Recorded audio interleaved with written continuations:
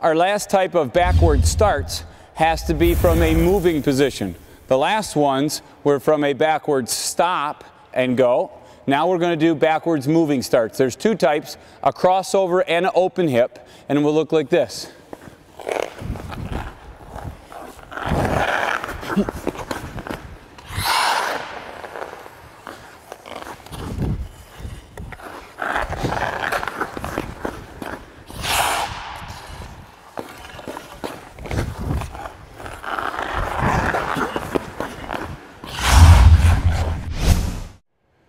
And our second type of moving backward start then is with an open hip start, no crossover. Looks like this.